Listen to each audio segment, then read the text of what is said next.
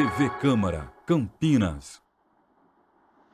16 horas e 7 minutos desta quarta-feira, voltamos para mais uma transmissão ao vivo aqui na TV Câmara Campinas. Agora nós vamos acompanhar a primeira reunião extraordinária da Comissão Permanente de Política Urbana, que vai falar sobre é, esclarecer a população e vereadores sobre as revisões das resoluções do tombamento do pátio ferroviário da cidade. Quem vai presidir, comandar esta reunião é o vereador Jorge Schneider, que vocês podem acompanhar aqui pela TV Câmara Campinas, assim como no canal do YouTube.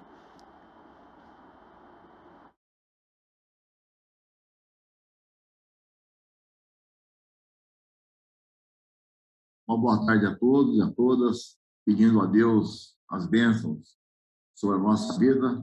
Declaro aberta a primeira reunião extraordinária da Comissão de Política Urbana, em ambiente virtual, onde debateremos a, o destombamento, é um termo que não existe juridicamente, mas foi muito usado na que nós tivemos na segunda-feira, e isso incomodou demais a nossa comissão permanente de urbanismo, e então eu quero de imediato agradecer à secretária Alexandra Caprioli, ao meu amigo Vinícius, também a a diretora de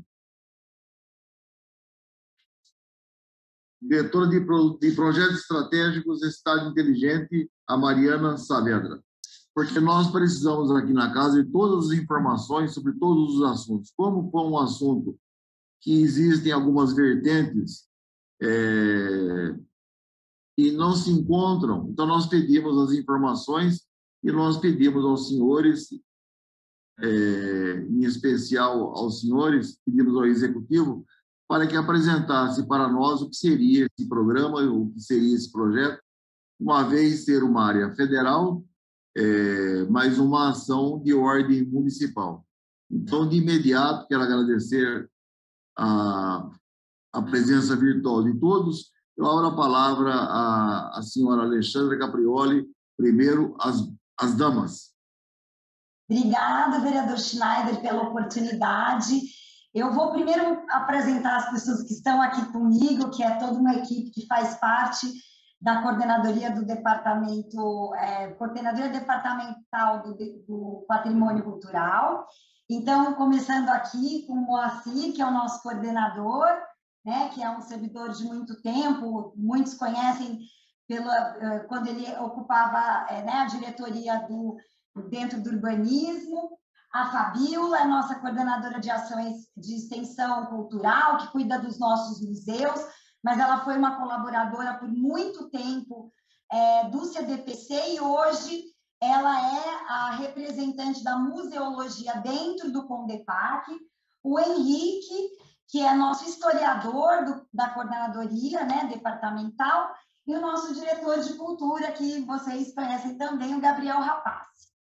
Eu agradeço essa oportunidade, vereador, e eu queria é, primeiro fazer um pouco o contexto dessa, do, do momento que a gente vive, e eu acho que a oportunidade que vocês estão nos dando de esclarecimento é extremamente relevante, porque muito se falou e, infelizmente, a maior parte das informações elas não estavam corretas. Então, eu gostaria de primeiro explicar um pouquinho como é o rito é, da apresentação dos projetos no Condepac. Como é que o Condepac, como conselho né, do patrimônio, faz as suas ações? Nós temos uma equipe técnica, que é do CDPC, que eles são demandados em assuntos variados, tanto de empreendedores, quanto de reformas, quanto de tombamento.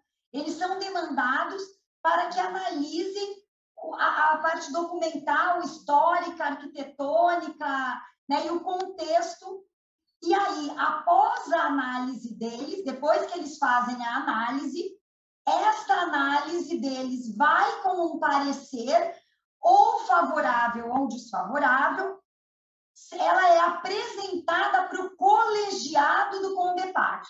O CONDEPAC é, composto por 27 membros é, titulares e suplentes, e que são formados por entidades da sociedade civil organizada que militam nas diferentes áreas do conhecimento que fazem interlocução com o patrimônio. Bom, então, tendo dito isso, vamos à questão da nossa última reunião do dia 17 de março.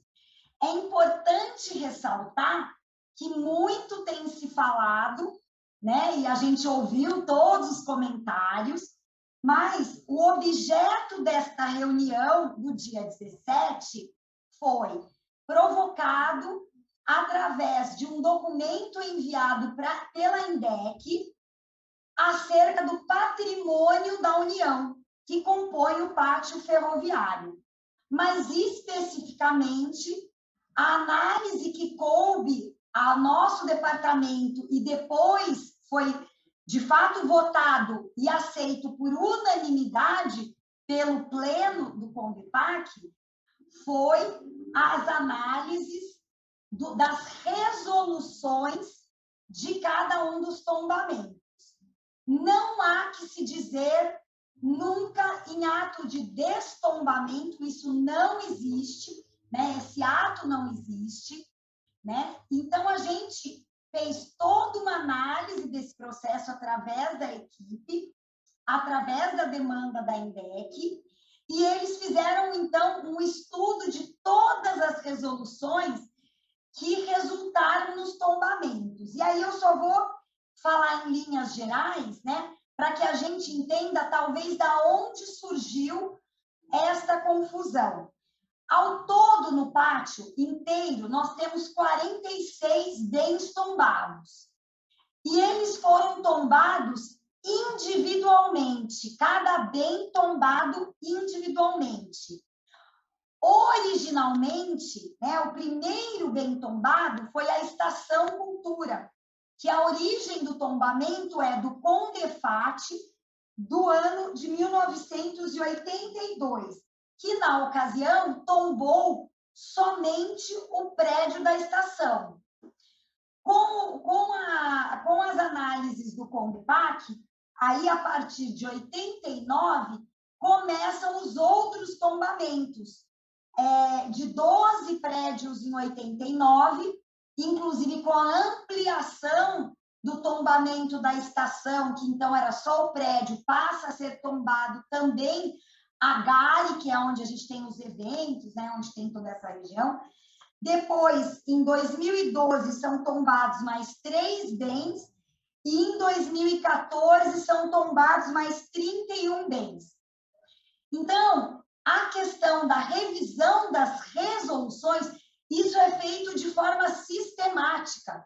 E isso não significa mudança na concepção do tombamento em si, mas dos parâmetros que regem a segurança jurídica que, de, da, da ocupação dessa área. Né? Então, a INDEC nos provocou a análise desse processo e eu vou pedir posteriormente, né, eu gostaria de, é, depois de ter feito essa introdução, passar a palavra para a INDEC para que ela possa dizer o que provocou a, o pedido de análise por parte deles, e aí depois eu peço que a palavra seja retomada para que os técnicos façam uma pequena apresentação visual do, de que área nós estamos falando. Então, eu só quero destacar que a grande confusão gerada, inclusive usando o nome da estação cultura, é, ela não existe. Não foi analisado nenhum processo na reunião do dia 17 envolvendo a área da estação cultura.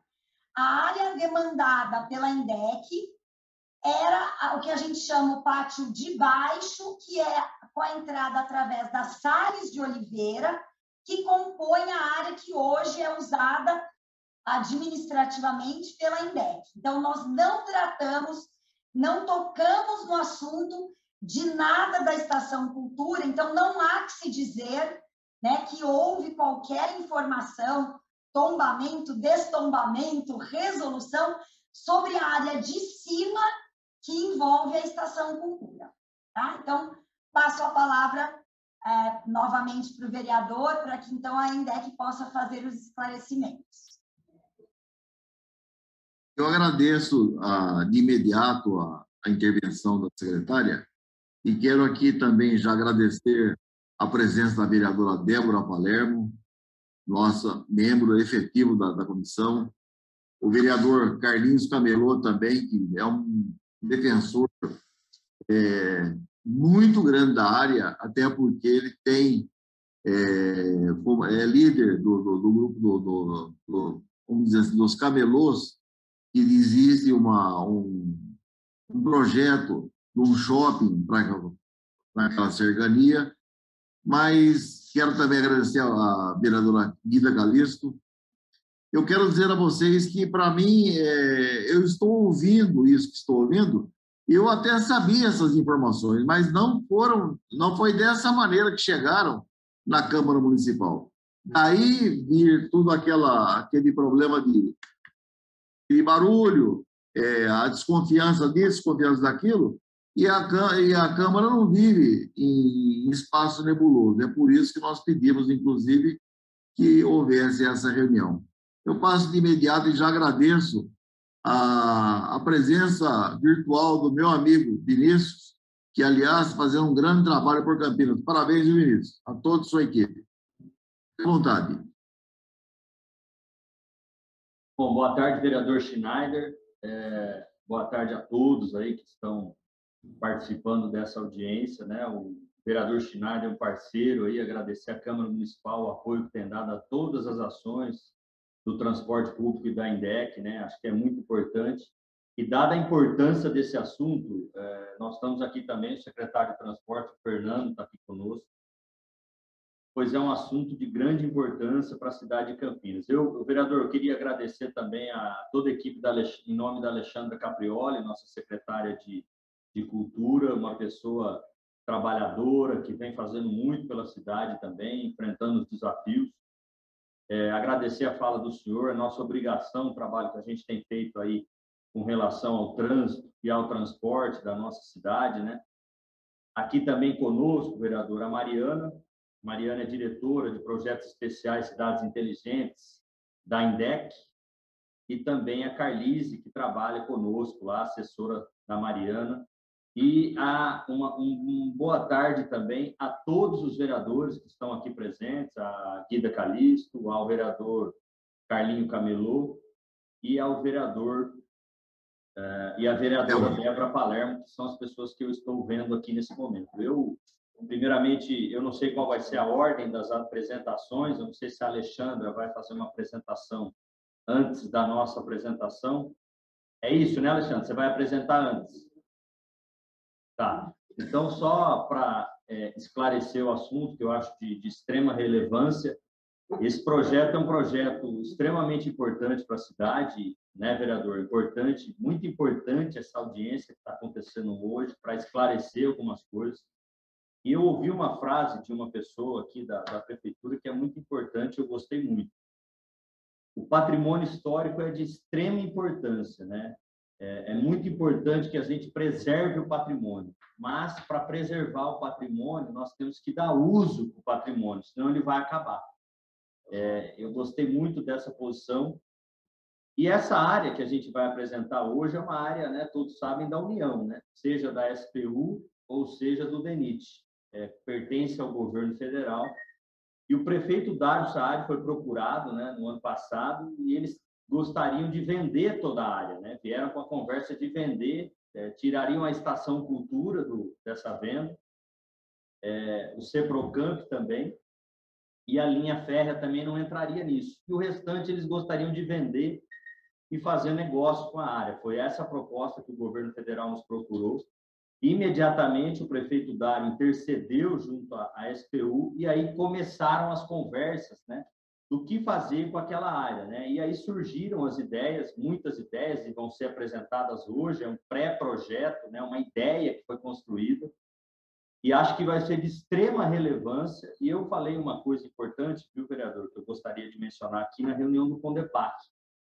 talvez essa é, é uma oportunidade que a cidade não pode perder de preservar esse patrimônio e dar uso do patrimônio. Né? O projeto que nós vamos apresentar aqui, a ideia, né, que foi construída com todas as secretarias da prefeitura, com a participação do prefeito também, é, é um projeto audacioso, mas que dá uso àquele espaço, dá uso é, de um grande parque público para toda a sociedade e dá uso de um, de um espaço de eventos, de gastronomia, e de eventos principalmente, né? Campinas não tem um espaço público, um centro de convenções público, que poderia se tornar ali no prédio do relógio, um prédio histórico maravilhoso. E assim, eu gostaria de falar algo que eu presenciei, estou presenciando no momento. A Indec, como todos sabem, fica naquele local. E eu visitei os prédios da região, gente, e assim, com toda sinceridade, é só fazer uma visita lá que vocês vão ver. É, é, os prédios estão acabando, né? Porque o prédio é da União, a União não está cuidando e, e, e o patrimônio sem uso ele vai acabar. Então, acho que esse é um objetivo da cidade e acho que esse projeto tem tudo para dar certo, para revitalizar todo aquele espaço, né? A área também do shopping popular não entra dentro dessa discussão, né? A União não né, já resolveu isso é, isso já aconteceu, o Carlinhos Camelot está aqui, sabe disso, já aconteceu no passado, a sessão, a, a sessão desse espaço, né, para a União já cedeu esse espaço para a Prefeitura, então está fora dessa discussão. O que a gente vai apresentar aqui é um espaço né, que a gente conseguiu reduzir a, a, a questão da venda né, da, da, da, área, acho que isso que é de extrema importância dizer, uma área de 300, aproximadamente 300 mil metros quadrados, a União só está pretendendo vender cerca de 30 a 40 mil metros, né? Isso vai ser apresentado aqui. Lembrando que isso pode gerar habitação, comércio, shopping, e, e a contrapartida desse empreendimento ele seria é, poderia ser também utilizado para restaurar os imóveis que fazem parte ali desse desse grande patrimônio que a cidade de Campinas possui que fica no centro histórico da, da, da nossa cidade. E uma coisa que eu acho importante dizer, gente, é assim: nós temos uma previsão do trem intercidade chegar ali. Semana passada nós tivemos um evento em São Paulo. Esse, esse, esse, esse trem, é, eu tenho muita esperança que isso vai acontecer. Ele, o edital está para ser publicado. Então eu acredito que esse trem vai sair, vai chegar ali na estação, vai revitalizar, revitalizar já aquele espaço. Nós temos também é, a rodoviária que está ali, o terminal metropolitano, o terminal central. Então, todos os eixos de mobilidade. Tem o projeto do trem Viracopos Centro, que chega também na estação. E tem também a obra de revitalização da Avenida Campos Salles, que já foi anunciada pelo prefeito Dário Saad. Então, você vê que é um conjunto de, de, de, de, de eixos de mobilidade e desenvolvimento urbano que vai revitalizar todo aquele espaço e como eu disse, gente, é assim, com toda a sinceridade possível, é, eu tenho já uma, uma, uma, uma, relação com alguns vereadores da Câmara, vocês me conhecem e sabem da minha transparência. É, é uma oportunidade única né, que a gente está tendo de, de mudar a história daquela região. É, e talvez seja uma oportunidade que a gente não pode perder, a cidade não pode perder. Então, eu gostaria muito que tivéssemos o apoio de todos, claro, com diálogo, com respeito, respeitando sempre os vereadores, né, o apoio que a Câmara dá, tudo que a gente é, tem feito, claro, com as discussões, o diálogo, mas dizer que esse projeto é de extrema importância para a nossa cidade. A Alexandra vai fazer a apresentação e depois a Mariana, vereador, nossa diretora lá da INDEC, também vai fazer essa apresentação que eu falei do espaço, né, da ideia que a gente tem para aquela, para aquela região. Eu agradeço a todos vocês a oportunidade é, é, e acho que a gente tem tudo para ter um diálogo muito bom nessa, nessa reunião.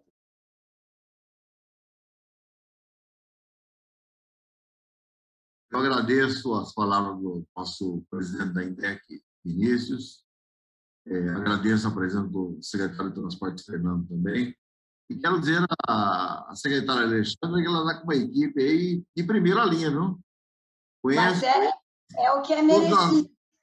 As quatro feras aí, todos eles trabalhadores, pessoas capazes, é isso aí mesmo. Sozinho você não consegue, mas uma equipe bem formada, uma equipe bem organizada, a coisa acontece. Parabéns, viu, Alexandre? Obrigada. É, para que vocês possam apresentar. Perfeito. Eu só queria fazer um esclarecimento que é muito relevante, até devido que no momento a gente está dividindo a reunião em duas dúvidas que existiam. A primeira é tudo que foi decidido, falado no Condepac, tá? Então, isso é o que a equipe vai apresentar agora. O projeto que será apresentado pra, pela INDEC não foi objeto de votação no Condepac. Ele é uma inspiração do que pode vir a ser as sugestões de ocupação. A Mariana vai explicar isso muito bem. Mas é importante que se diga essa informação. O que foi votado foi a, a, assim, essa alteração, revisão das resoluções. Eu vou passar a palavra para a Fabiola, inicialmente, né, que ela vai fazer uma fala, e depois eu vou compartilhar em seguida com vocês a, uma apresentação para a fala do Henrique. Então, passo a palavra. Eu vou tirar a máscara para facilitar. Senhores estão me ouvindo? Tá, tá claro para vocês? Vocês estão ouvindo? Perfeito. Ótimo. É, agradeço, vereador Schneider, a oportunidade. É, e aqui, sem mais delongas, para não ocupar demasiadamente o tempo dos senhores, é, como o Vinícius apresentou, então a Secretaria de Cultura recebeu um ofício é, fazendo uma consulta a respeito das resoluções de tombamento incidentes sobre uma determinada área dentro do complexo ferroviário, é, considerando que essa área tem 46, né, a área do complexo ferroviário tem 46 bens tombados, então é uma, é uma área que incide em diversas legislações, não só do CONDEPAC, mas também a legislação urbanística oriunda do plano diretor. Também essa consulta foi feita à Secretaria de Planejamento para que houvesse manifestação em relação à, à legislação advinda do, do, plano diretor. Então, quando nós recebemos essa demanda, a, a primeira tarefa foi é, consultar os processos de estudo de tombamento e as resoluções de tombamento decorrentes desses processos. E o que, é que nós temos aqui? Para essa área do complexo, nós temos três processos de estudo de tombamento é, do CONDEPAC, que resultaram, esses três processos de estudo de tombamento resultaram em cinco resoluções. E nós temos, anteriormente até aos processos de estudo de tombamento do CONDEPAC, o processo de estudo de tombamento e a decisão de tombamento do órgão estadual de proteção do patrimônio cultural, que é o CONDEFAT. Então, a primeira resolução, a primeira decisão sobre tombamento desse é, patrimônio ferroviário é uma decisão que foi emanada do CONDEFAT, em 1982, né, por meio da resolução número 9, de 15 de abril de 1982, que declarou o tombamento da estação ferroviária, né, do prédio da estação. O processo, o primeiro processo do Condepac, ele é de 1989, é o processo 0389, que resultou na resolução 0490. Essa resolução, ela é, lista um conjunto de 12 bens. Então, esse é o primeiro ponto importante para que a gente entenda o processo de tombamento, a evolução das decisões de tombamento do Condepac no complexo ferroviário. A gente tem, nessa resolução de tombamento, um primeiro rol de 12 bens que estão tombados, incluindo o primeiro deles é a estação, né? e aí a estação é, ferroviária, incluindo a sua GARE. Então, esse é o primeiro bem que está elencado. E essa resolução ela vai é, definir uma poligonal, que é uma área, né, que é a área que a gente chama hoje do complexo. Essa poligonal, ela foi definida porque dentro dela estão localizados esses 12 bens inicialmente tombados. Então, a definição dessa poligonal ela é importante porque ela nos delimita a área onde estão localizados esses bens de importância da perspectiva do patrimônio ferroviário. Essa poligonal, ela vai sendo incorporada nas outras resoluções de tombamento que se seguem por conta dos novos processos. Então, após essa, o tombamento desses 12 bens iniciais, né, houve a abertura de um novo processo de estudo de tombamento em 2012, que é o 01 de 2012, que incorporou mais três bens é, a esse conjunto de bens tombados na, dentro do complexo.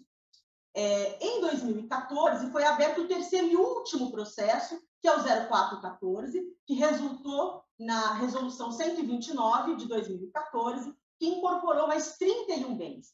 Existe uma lógica, uma sistemática na decisão do CONDEPAC em todos esses processos de estudo de tombamento, que é o quê? Cada um desses bens que foram tombados, eles foram listados individualmente. Né? Então, o tombamento de todos esses 46 bens é, é um tombamento que se dá individualmente, com esses bens singularizados. E esses bens, cada um desses bens, tem uma área envoltória que é limitada ao próprio bem. Por quê? Porque esses bens eles estão inseridos numa área maior, que é a área do complexo, que é essa poligonal do complexo, que por sua vez já tem uma área de proteção, que é chamada área envoltória. Então, o, a poligonal do complexo tem uma área envoltória, e essa área envoltória ela era inicialmente de 300 metros, lá em 1990, e depois, em 2015, quando houve a primeira retificação dessa resolução, né, da 0490, que se transformou na 137 de 2015, nessa retificação, a área envoltória ela é reduzida de 300 metros para os quarteirões adjacentes ao complexo. Por quê? Porque uma série de estudos já haviam acontecido é, a, a, respeito dessa área envoltória, que é, são processos, é, são estudos ligados ao processo 08 de 2008, que foi um processo que estudou todo o centro expandido da, da cidade. É, então, a gente tem um conjunto grande de bens elencados ali, dentro desse conjunto, outros conjuntos menores que foram estudados, considerando a integração entre esses bens. Então, por conta desse processo de estudo de tombamento, que levou à decisão do CONDEPAC de tombar é, vários imóveis naquela região, ou mesmo conjuntos, imóveis interligados entre si, não havia mais necessidade da gente manter uma área envoltória de 300 metros, mas sim reduzir essa área envoltória para os quarteirões adjacentes, limitando apenas a altura né, das novas edificações, o gabarito de altura.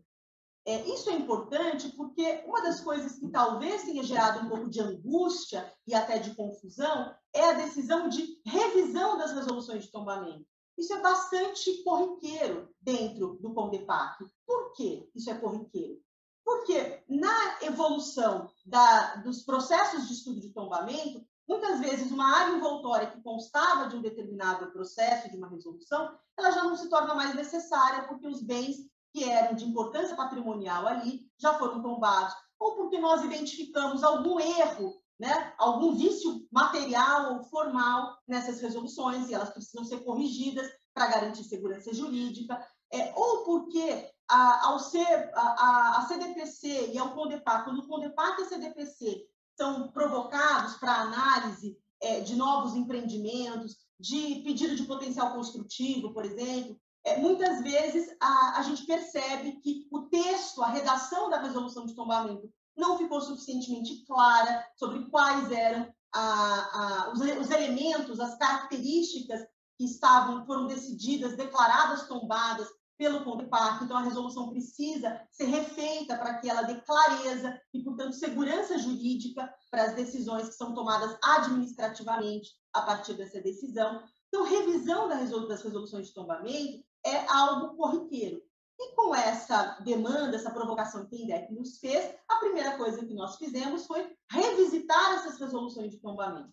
E ao revisitar essas resoluções de tombamento, nós encontramos alguns defeitos formais e materiais nessas resoluções, né? aquilo que juridicamente a gente chama de vício formal e vício material. O vício formal, como a gente vai, vai ver na proposta que foi aprovada por unanimidade pelo CONDEPAC, a gente tem um vício é, em que o CONDEPAC extrapolou a sua competência, né? isso acho que é importante lembrar, até porque nós estamos na Casa Legislativa, que o CONDEPAC tem uma competência delegada do Poder Legislativo para decidir sobre tombamento, estritamente para decidir sobre tombamento. Então, essa casa autorizou o CONDEPAC na Lei 5.885 de 1987, que criou o CONDEPAC é, e estabeleceu as suas atribuições essa casa delegou ao CONDEPAC a competência de decidir sobre tombamento e essas decisões elas são publicadas, né, elas ganham publicidade e, portanto, elas completam o seu processo para produção de efeitos por meio da espécie normativa que é a resolução de tombamento. É, então, é importante que a gente tenha esses elementos em conta para entender que a resolução de tombamento ela é um mecanismo dinâmico, no sentido de que atualizações muitas vezes são necessárias para garantir a segurança jurídica, sem que isso signifique, de forma alguma, que se esteja alterando né, a decisão de tombamento tomada pelo egrégio colegiado. No caso de todas essas revisões que nós iremos apresentar, que foram é, recomendadas ao Conselho e que foram acatadas por unanimidade, nenhuma delas afeta a decisão de tombamento do Condepac, mas apenas é, normaliza essa, essa decisão no sentido de compatibilizar essa decisão com a legislação é, urbanística, por exemplo, porque isso também é um ponto muito importante, é, quando a gente fala de patrimônio cultural, a gente está falando da tutela de, do direito cultural, que é um direito difuso, os direitos culturais são direitos difusos, portanto, direitos de toda a coletividade, é, e eles, uh, em especial, o tombamento, que está consubstanciado na, na Constituição Federal de 88, é, no, na seção é, que trata da cultura, no artigo 216, o tombamento ele é um instrumento que permite a realização da função social da propriedade e da cidade. E essa função social da propriedade da cidade, ela precisa dialogar com a função social da propriedade e da cidade definida pela política urbana, cujo instrumento por excelência é o plano diretor. Então, há necessidade das revisões na, nas resoluções de tombamento, é, inclusive para que haja harmonização entre esses direitos, porque são dois direitos difusos, dois direitos da coletividade, chamados direitos transindividuais, tanto o direito à cidade quanto o direito é, ao patrimônio cultural, e eles precisam ser harmonizados. É, e, além disso, né, uma preocupação que, que sempre é, se coloca para a equipe técnica, e é um dever da equipe técnica do, da CDPC, que é o órgão de assessoramento do Condepac, que é apontar as situações em que haja algum tipo de insegurança jurídica dado por algum erro formal ou material. É, eu gostaria de passar agora para o meu colega Henrique, que vai apresentar aqui a, a, área, os bens localizados, qual é essa, é, essa área específica consultada, onde ela se localiza, quais são os tombamentos é, que sobre ela incidem, e depois a gente retoma em relação à proposta é, aprovada pelo Condepac. Eu vou compartilhar uma apresentação que o Henrique vai fazer, onde ele onde Deixa eu só localizar aqui. Só um. Obrigada.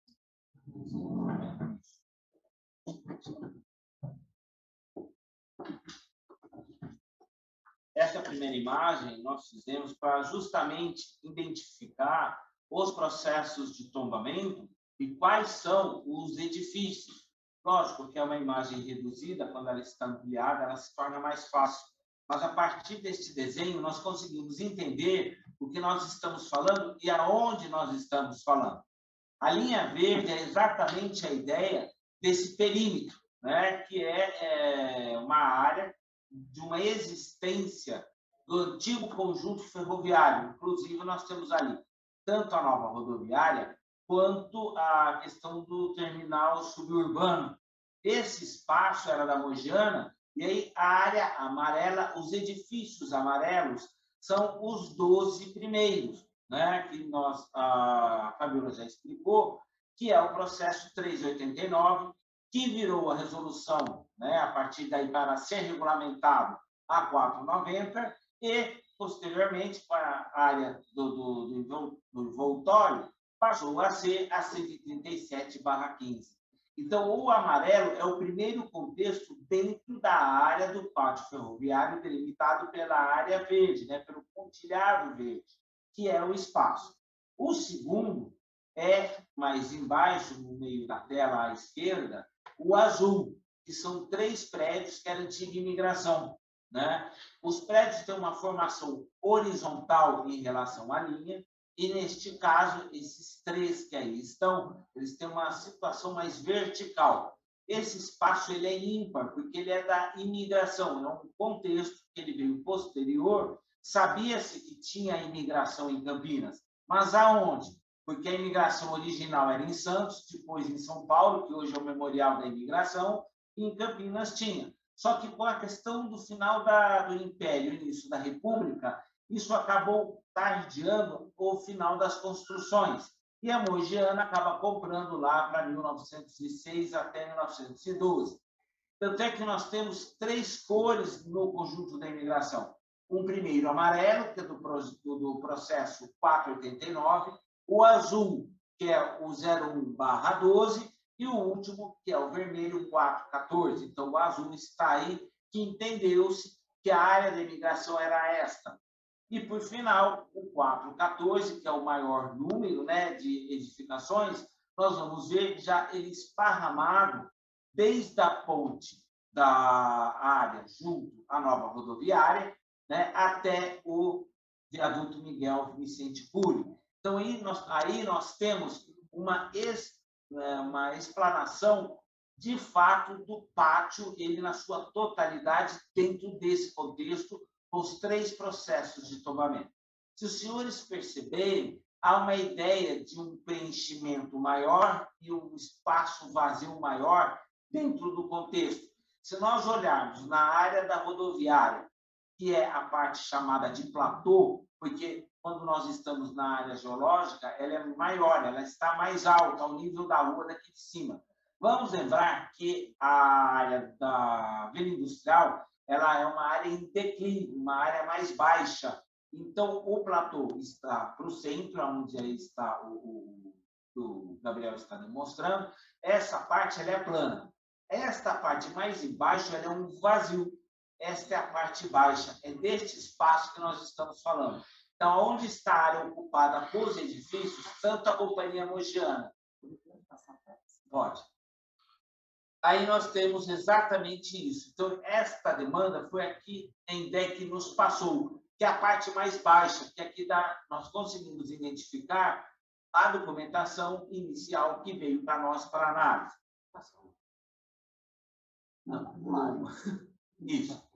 Com os estudos levantados, né, entre o que era o platô, os bens tombados e o contexto que veio, nós entendemos. Então, fizemos essa análise e chegamos nesta marcação a partir daquele SEI que a INDEC nos indicou. Então, esta parte verde é a parte que é a parte baixa. Ela não está identificando a parte do platô.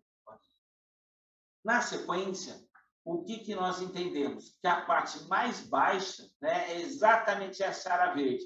Se os senhores perceberem, não há bens tombados nesse conjunto em relação a toda a estrutura do parque ferroviário, assim, na sua forma original. Mas nós temos duas edificações somente, então o resto está vazio, eu não tenho construção histórica, eu tenho só a escola aqui embaixo, que continua tombada, ela não deixou de existir, e no meio disso há uma pequena construção que era a referência do antigo espaço, não, no meio das árvores.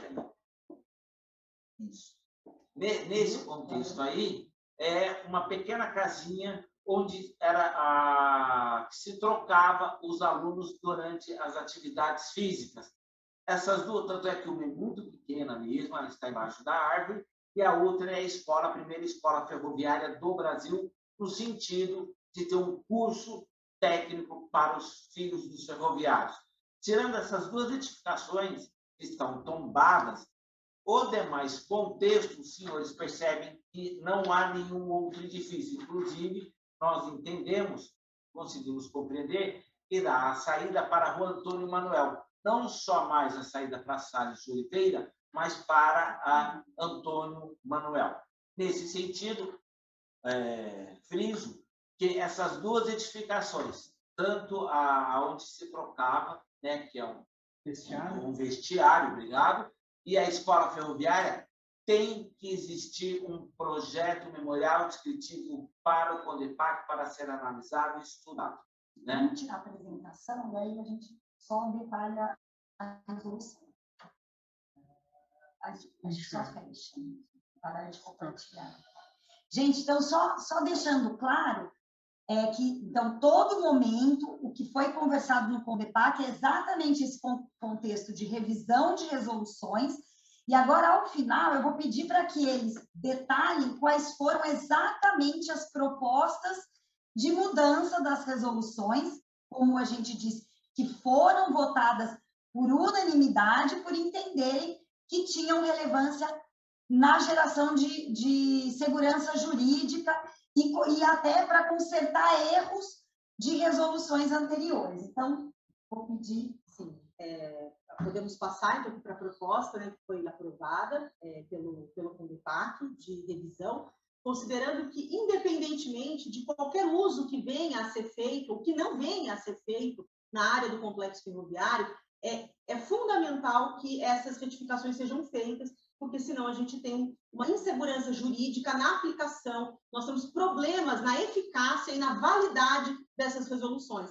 Então, para que o Estado cumpra o seu poder dever de tutela do patrimônio cultural, essas resoluções precisam ser corrigidas nesses termos, nesses dispositivos que colocam em xeque a sua segurança jurídica em virtude dos vícios formais e materiais que podem implicar na perda da validade e da eficácia dessas normas. Quais foram, então, essas decisões? Resolução número 137 de 2015, que é a resolução que sucede, ela revoga a 04 de 1990, que foi a primeira das resoluções, e, e, essa resolução 137 de 2015 foi a que estabeleceu a área envoltória, reduziu a área envoltória de 300 metros para a área envoltória adjacente ao complexo ferroviário, mas ela contém aqui um erro material. Qual é o erro material? É, existe a menção a, ao armazém de exportação com o endereço do armazém de importação. No processo de estudo de tombamento, são mencionados os armazéns. Quando a resolução é redigida, fala-se do armazém de exportação com o endereço do armazém de importação. Então, a gente entende né, que houve um lapso na, na, no texto, na redação da resolução, e a correção é para que os armazéns de exportação e importação sejam é, denominados né, com seus respectivos nomes, ou seja, armazém de exportação e armazém de importação, com os seus endereços indicados corretamente. Então, essa é a primeira retificação. A segunda retificação é da Resolução 129 de 2014. A Resolução 129 de 2014 ela é oriunda do último processo né, de estudo de tombamento dessa área, que é o 04 de 2014, que consagrou os 31 novos bens tombados nessa área. Essa resolução, ela tem, é, se nós olharmos o, o texto dela, a gente vê que esses 31 bens, eles são individualmente mencionados né? um a um. No item 32 é denominado uh, o espaço vazio.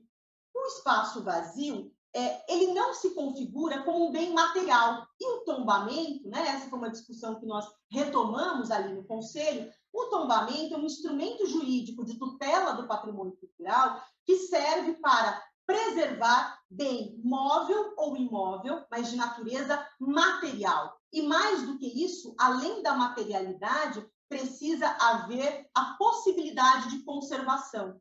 Então, para que um bem seja objeto dessa tutela específica, desse instrumento específico de tutela, que é o tombamento, ele precisa ter materialidade e ele precisa ser passível de conservação.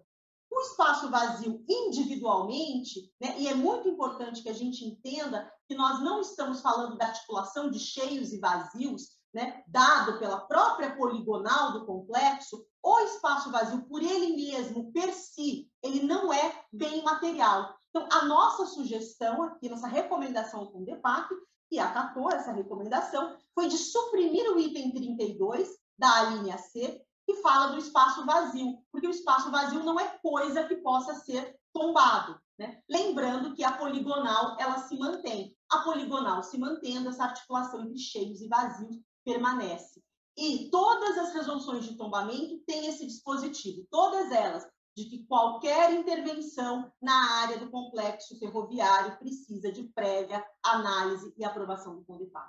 Então, o CONDEPAC continua com o poder-dever da tutela sobre a área da poligonal. A retificação é apenas no sentido de não gerar uma insegurança jurídica, porque se nós temos um bem que não tem materialidade, não tem como esse tombamento produzir efeitos. Para que isso não contamine toda a resolução, como, como acautelamento preventivamente, para que esse dispositivo, que não tem como ser eficaz no mundo jurídico, não tem como produzir efeitos no mundo jurídico, contamine o restante da resolução, a nossa recomendação foi da supressão nessa revisão. Ainda é, em relação à Resolução 129 de 2014, nós temos aqui, no artigo 2 é, a decisão de tombamento do solo em virtude do valor arqueológico. Mas o artigo 2 ele não detalha quais são as áreas sobre as quais incide o tombamento em virtude do valor arqueológico. E é importante que haja esse detalhamento, porque também o valor arqueológico ele é dado pela materialidade.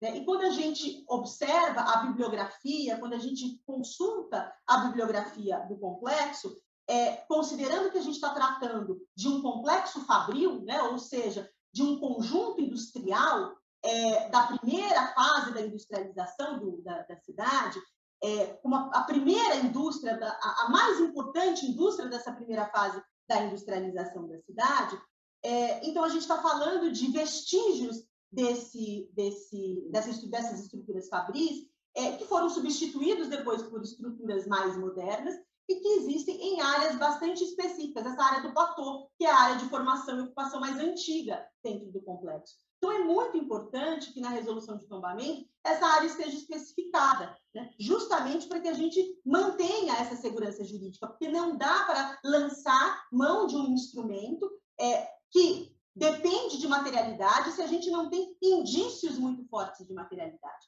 E aqui eu vou dizer uma coisa aos senhores: a gente tensionou o limite, o instrumento do tombamento, para a salvaguarda dos bens arqueológicos.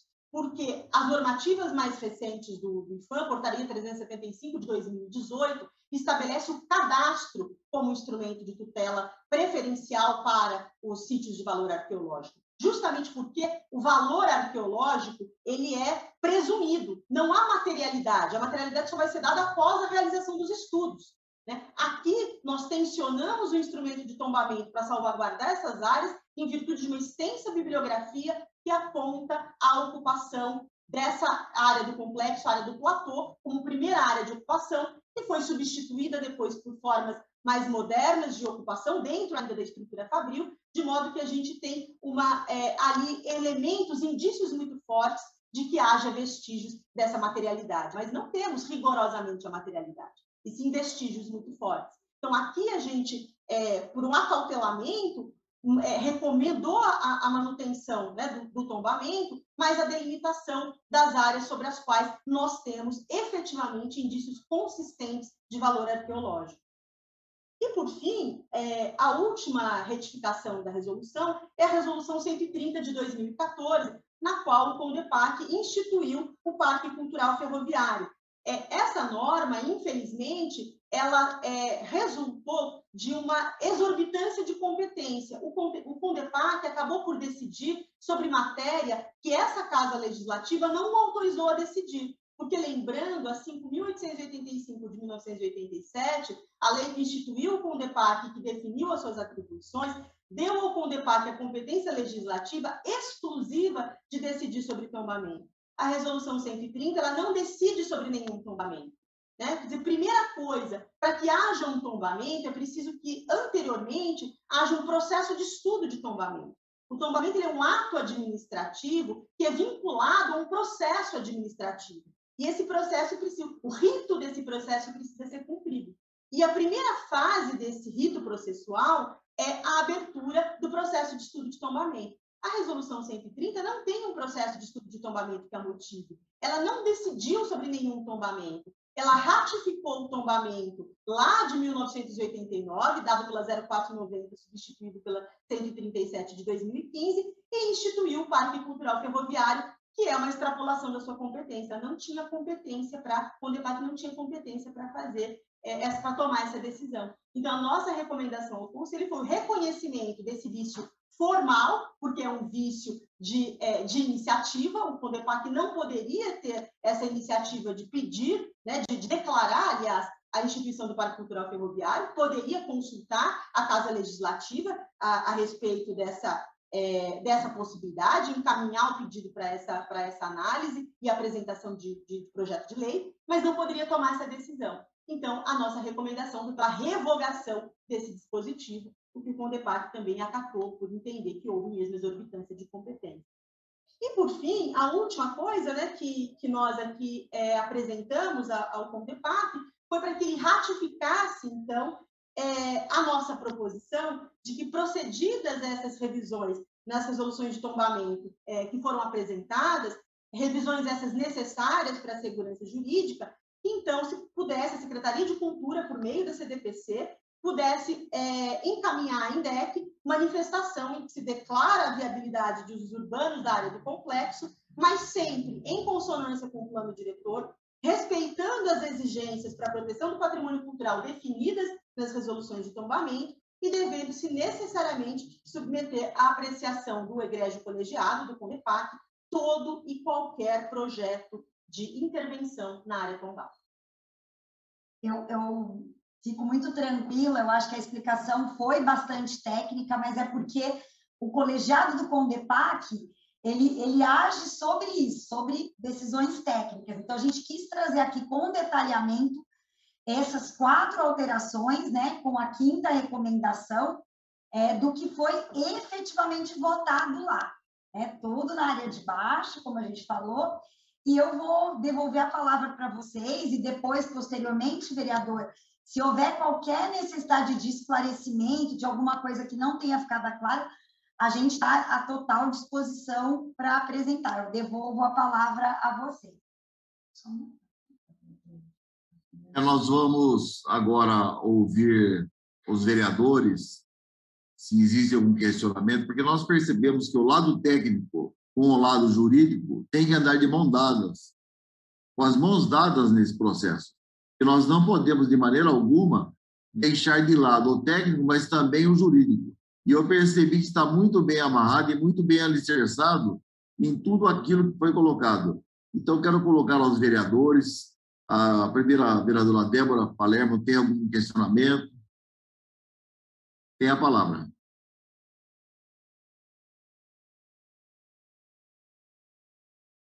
tarde, vereadores, secretários, todos presentes na reunião. Não, eu achei excelente a explicação. Assim como o vereador uh, Jorge Schneider, eu fiquei preocupada na última sessão, porque as coisas são jogadas, né, e a gente fica é, sem informações corretas sobre o assunto, mas achei a explicação perfeita. Concordo com o que o secretário, o presidente Vinícius Riveretti falou, que é uma oportunidade da gente revitalizar aquela área tão bonita e tão importante para Campinas. Então, aguardo agora a apresentação deles e quero agradecer a explicação da secretária Alexandra, né, que tem feito um trabalho excelente na nossa cidade, na, na Secretaria de Cultura e Turismo, e agradecer ao presidente Jorge Schneider pela oportunidade. Muito obrigada. Eu que agradeço. Eu pergunto à vereadora Guida, primeiro as mulheres, né? Nós estamos no mês de março, mês das mulheres. A vereadora Guida, você tem algum questionamento? Oi, vereador. Boa tarde. Boa tarde. É, eu tenho sim. Vontade. Gostaria de ajuda aí para poder entender algumas questões, tá? Bom, primeiro é que a gente, eu, eu acabei tendo acesso é, à resolução, a resolução número 129 de 2014, né, é, que trata, inclusive, sobre essa questão do, do tombamento ali da área do complexo ferroviário. No artigo 1, e, a linha A fala é, todos os, os itens que estão que são tombados, nessa relação, que são elencados nessa relação do tombamento. E aí, vem logo no item C, fala o seguinte, que é, o, os pátios, né, os espaços vazios, as edificações que compõem o conjunto ferroviário, ou seja, o complexo ferroviário, isso daqui está aqui escrito, situados entre o depósito da, da locomotiva, a vapor, enfim. E aqui, então, está falando que é um complexo, né? É, ferroviário. Não está falando que apenas, é, ou seja, ou que é só apenas a área ali da estação, o prédio principal da estação. Está uhum. falando que é todo, né, todo o solo, toda a área ali, ele é tombado. E aí, na fala da secretária, eu já quero já cumprimentar a secretária, que eu estou numa correria entre uma reunião e outra aqui, é, agradecer aí a, a presença a participação dela, é porque ela falou que, que a área da, da do prédio não, que é tombada não está em questão, mas pelo, pela resolução, tudo ali é um complexo que foi tombado. Isso é uma pergunta. A segunda pergunta é o seguinte: segundo o Conselho de Arquitetura e, e Urbanismo, é, todos os pareceres né, que discute a, essa questão, inclusive essa questão é, urbanística, ele precisa ser assinado, validado por um arquiteto. Então, eu gostaria de saber quem que faz parte, né, ou desse conselho é, da coordenadoria setorial que discute o patrimônio cultural, quem é o arquiteto que assinou, que validou essa questão, tá?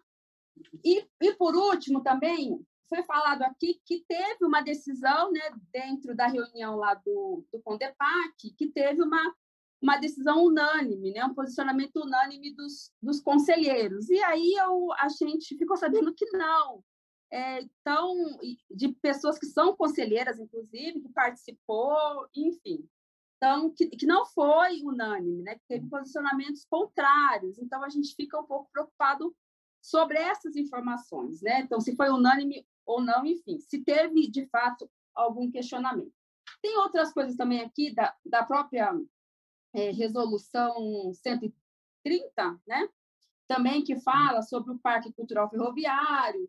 Tem uma outra questão também de uma outra resolução que está aqui na minha mesa, que são tantas que eu estava estudando o assunto, que fala sobre a possibilidade de venda pode até acontecer, mas tem que respeitar aqui é, da, da resolução 137, fala assim, ó, que seja mantido o tombamento dos espaços no que diz respeito às estruturas arquitetônicas. É óbvio que eu sou contra a venda né, de qualquer patrimônio público, mas se acontecer, o parágrafo 2 do artigo 1 da resolução 137 de 2015 fala que tem que ser mantidos os espaços que foram tombados. Enfim, são questões aqui colocadas, né? O solo, enfim, é, são questões que foram colocadas aqui, que eu gostaria de, de apresentar nessa reunião. Agradecer vereador Schneider pela presidência dessa reunião, parabéns. A, agradecer o espaço, agradecer à secretária, ao pessoal da Secretaria de Cultura que está aí, ao pessoal da, da INDEC também, Vinícius, enfim, gostaria que fosse é, respondido essas questões, porque foram questões que chegaram para mim do Conselho Político do nosso mandato. E o vereador Igor, Igor também, e os demais vereadores que estão aqui. Obrigada, viu, gente? Eu agradeço a intervenção da vereadora Guida. Agora eu passo, eu gostaria que a secretária, nós vamos perguntar para três vereadores, depois eh, vocês respondem, por gentileza. Vereador Carlinho Cabelô. Um questionamento? Boa tarde, vereador Schneider.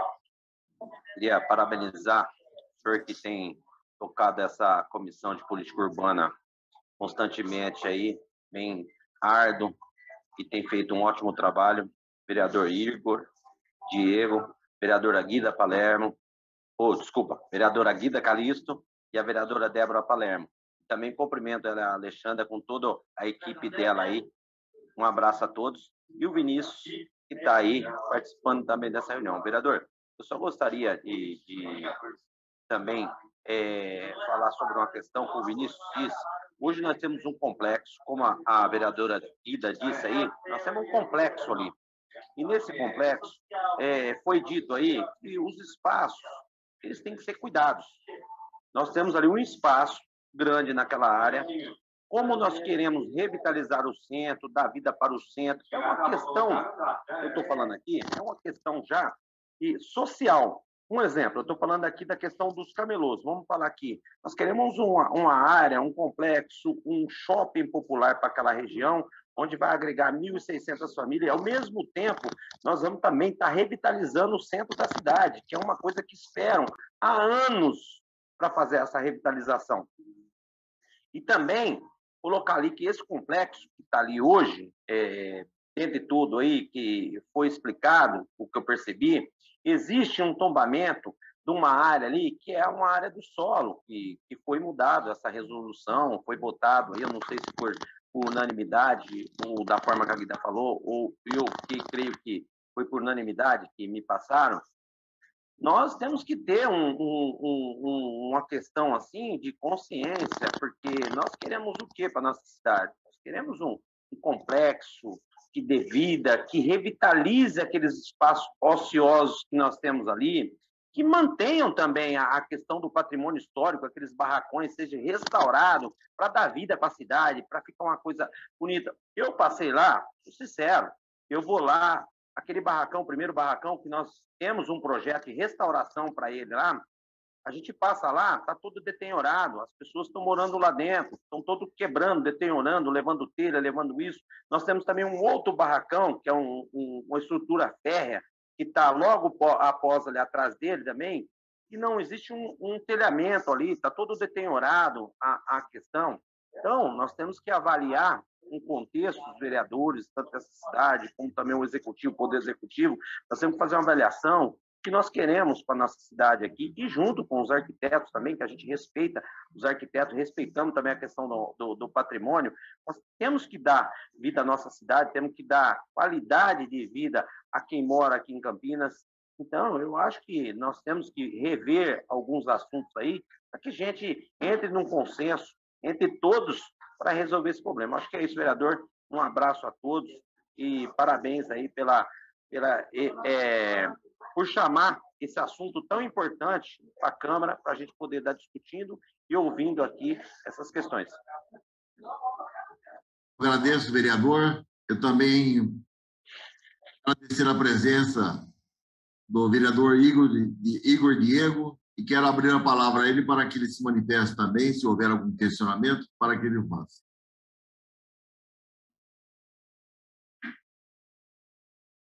Senhor presidente, muito obrigado. É, agradeço a presença, agradeço o secretário de, de mobilidade aí, o secretário o presidente da INDEC, Vinícius, a secretária, os demais vereadores. Eu acompanhei, tá? Acompanhei uma parte já na prefeitura mesmo, aí vim no carro ouvindo aí é, as explicações técnicas. É, sobre as questões, né, presidente, eu acho que questões de constitucionalidade, legalidade, questões técnicas, foi sanado as minhas dúvidas, tá bom? E não vislumbro nenhum tipo de ilegalidade que impeça o andamento. É, o que eu acho a questão política é que falta a inclusão ainda de alguns grupos da comunidade, nesse sentido, politicamente falando.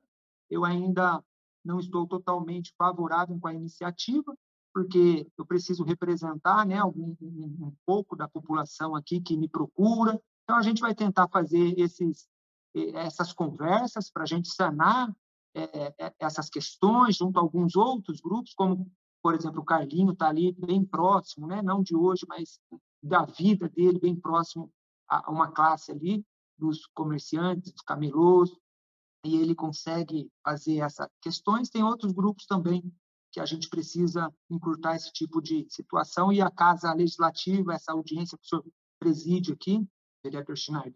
É muito importante para que isso seja feito e a gente possa pautar e pontuar essas questões, tá bom? Muito obrigado. Então, é, é, eu agradeço de maneira breve e parabenizo o senhor pela condução e todos os demais, né? Que Deus abençoe a todos. Obrigado. Eu agradeço, vereador. Eu passo novamente à equipe da Alexandre Caprioli para que respondam os questionamentos efetuados pelos vereadores. É, bom, então eu, eu, vou começar só de trás para frente, naquelas perguntas da, da vereadora Guida, né? E a gente vai é, destacar algumas coisas importantes. Eu queria só ressaltar que não há nenhuma dúvida quanto à decisão de unanimidade. É, talvez vocês estejam falando é, antes da votação, qualquer ente que está na reunião pode fazer todo e qualquer questionamento, até que se ponha em votação. E foi feito esses questionamentos, haviam é, muitos membros tinham dúvida do que estava sendo votado, inclusive, talvez essa informação tenha vindo, vindo do Conselho de Política Cultural, que é representado lá pela Fabiana Ribeiro, é, ela estava, inclusive, com outras pessoas, ela, ela tinha outras pessoas aconselhando, né, que estavam lá fora da reunião, mas é muito importante dizer que eu posso garantir, e a ata vai refletir isso, que foi votado por unanimidade. Não houve nenhuma abstenção e nenhum voto contrário. Ao final da apresentação, nós, nós mostramos um slide para que ninguém tivesse dúvida do que nós estávamos votando. A gente não quer que cause nenhuma confusão, como a, a reunião tem muitos dados técnicos, a gente, então, projetou um slide, que a gente até pode mostrar aqui, e foi o objeto desse slide que foi é, a votação, que foi exatamente o que a Fabiola detalhou.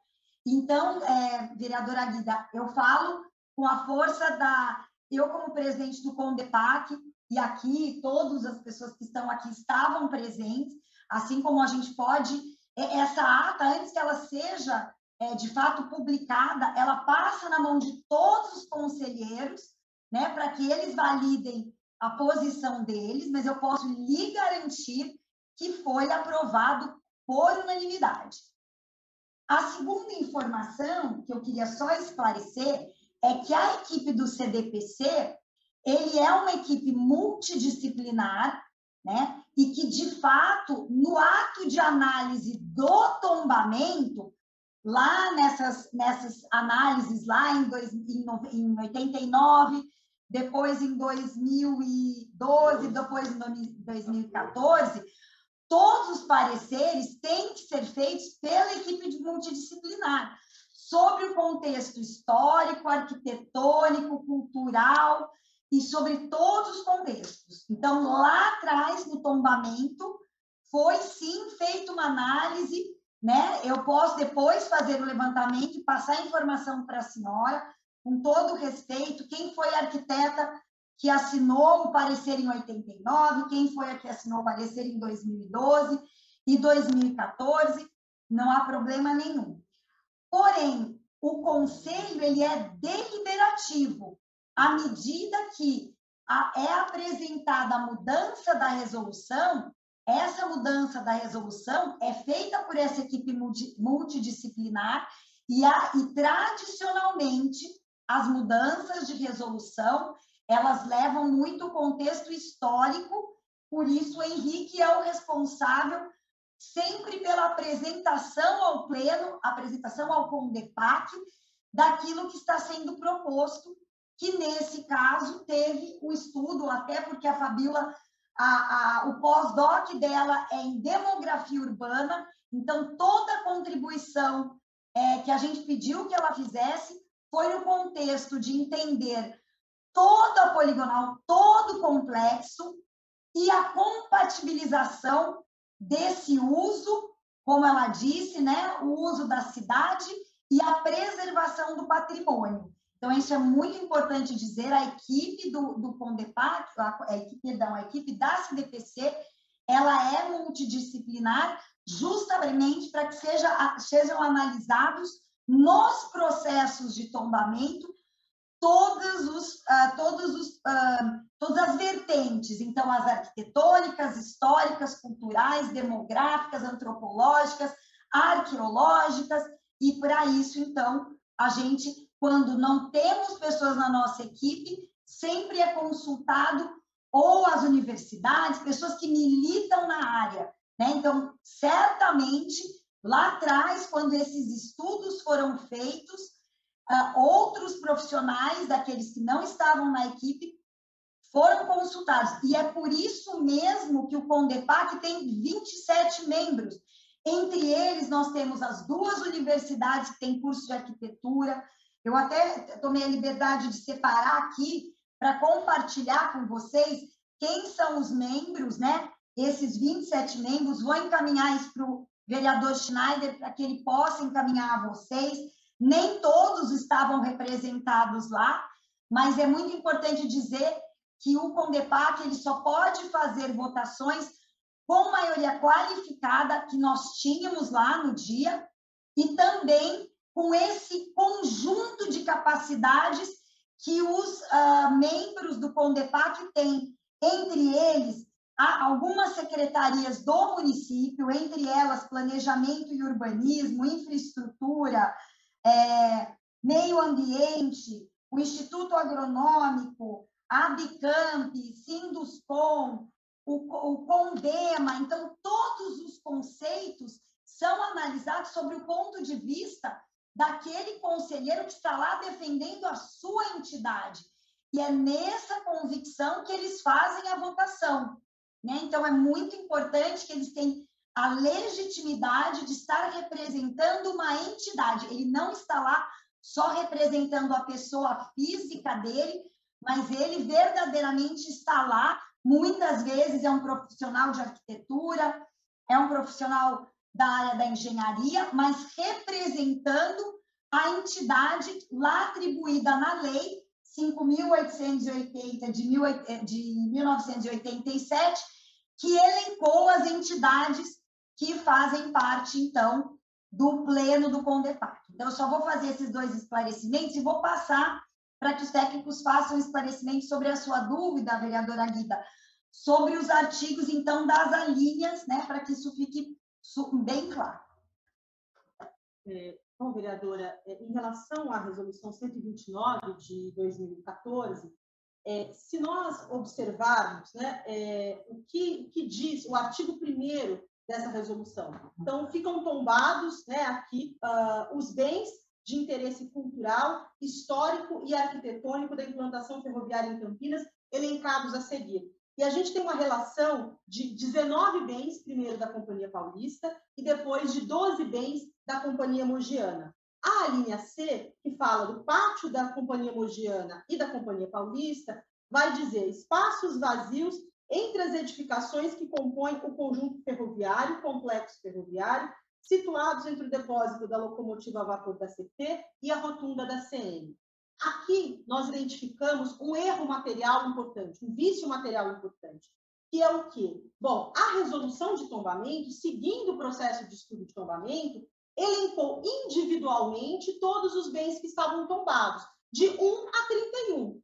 Quando chegou no 32, ela elenca espaços vazios. Mas os espaços vazios, por eles mesmos, por eles próprios, não são estruturas passíveis de serem tombadas. Não é possível incidir o tombamento sobre um espaço vazio, porque ele carece de materialidade.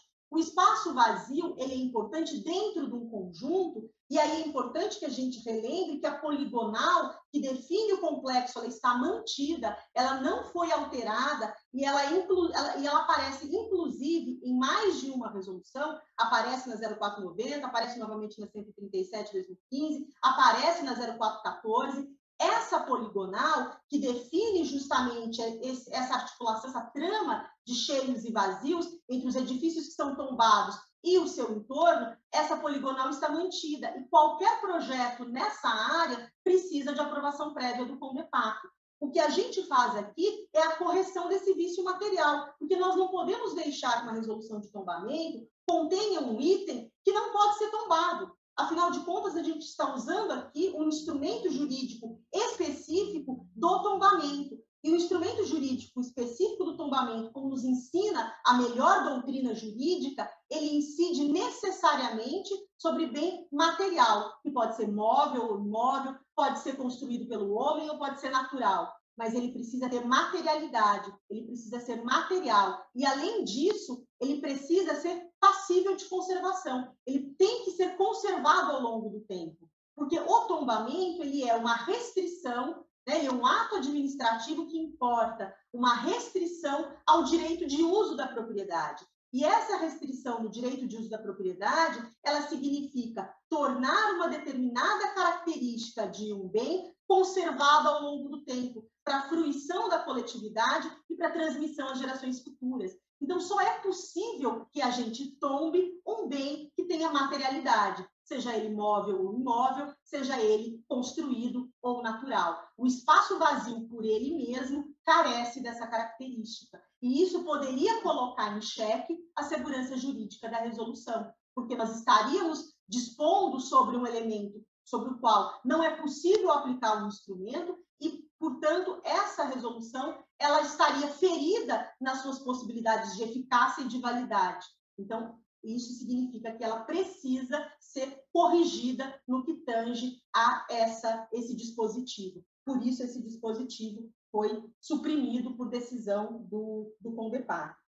É, em relação a, ao parágrafo 2 do artigo 1 da Resolução 137 de 2015, que ratifica né, a 0490 e apenas substitui a, a área envoltória, né, é, substituindo os 300 metros pelos quarteirões adjacentes. É, o parágrafo primeiro, né, ele vai dizer que fica, ficam tombados do processo 04-1989 os seguintes bens de interesse cultural, histórico, arquitetônico e ambiental, exemplares da arquitetura ferroviária construídos entre 1872 e 1929. E o artigo 1 vai elencar todos esses 12 bens que foram considerados exemplares dessa, é, é, bens exemplares da arquitetura, bens exemplares do processo histórico, cultural e ambiental da arquitetura ferroviária. Eles estão aqui discriminados um a um, individualizados, que é também é, uma das formas da gente proceder a um tombamento. Um tombamento pode ser de um conjunto, um tombamento pode ser individualmente, de bens elencados individualmente. É, há uma série de tipologias possíveis de tombamento. As decisões de tombamento do Condepac, todas elas individualizam os bens a serem tombados. Então, a gente tem os 12 bens, e aí o parágrafo 2 do artigo 1 vai dizer que seja mantido o tombamento dos espaços no que diz respeito às estruturas arquitetônicas, ou seja, né, as estruturas arquitetônicas desses 12 bens individualizados no parágrafo 1 do artigo 1 precisam ser mantidos,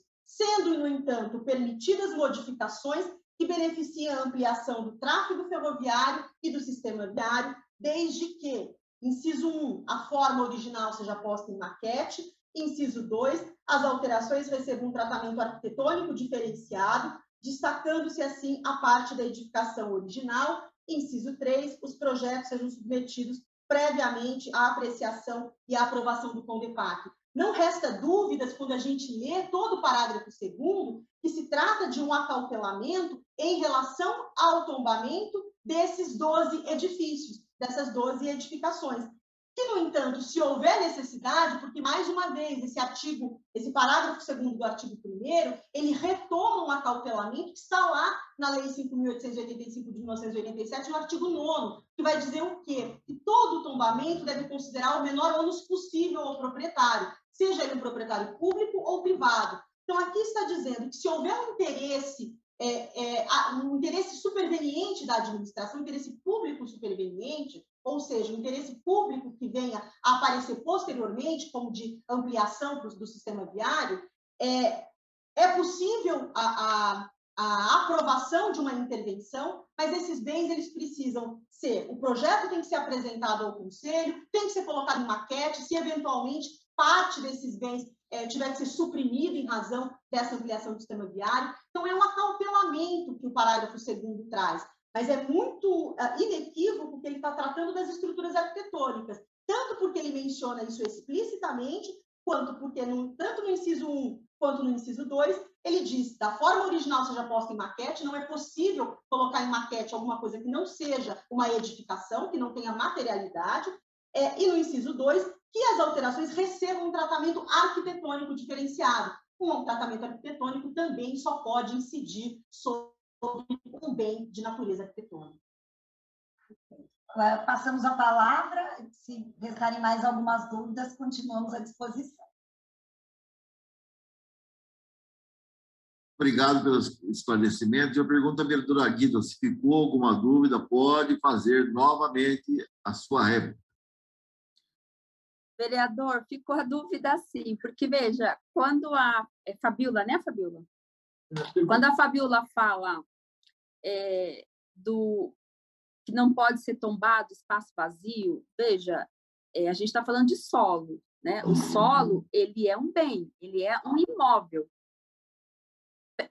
eu suponho, né? Suponho, porque eu não acompanhei isso no período que foi tombado, né? Estou chegando agora né, nessas questões, inclusive. Eu suponho que quando foi tombado, inclusive, porque a gente sabendo, né, da, do objetivo principal, que era aquela área, que era a área férrea, né? Enfim, eu, eu os trilhos era para isso. Os trilhos estavam ali colocados nessa área do solo. Então, enfim, né? É, eu acho, eu, eu não não estou convencida de todo. Eu, eu acho que a Fabiola, ela, ela, ela, de fato, ela apresenta é, muito conhecimento, né? Do, das resoluções, inclusive, né? Quero parabenizá-la por isso. Mas eu acho que tá, aqui está tendo é, um, uma posição mesmo de governo, né? Que a gente já, enfim, a gente não vai chegar num, no entendimento comum por conta disso. A gente tem uma interpretação e o governo está apresentando uma outra proposta. Por isso que eu, que eu, não, que eu não consigo entender quando ela fala assim, ah, é, não pode tombar um espaço vazio. Mas estava tombado, tinha ali um objetivo. O objetivo era né, para a estruturação, atividade férrea, enfim.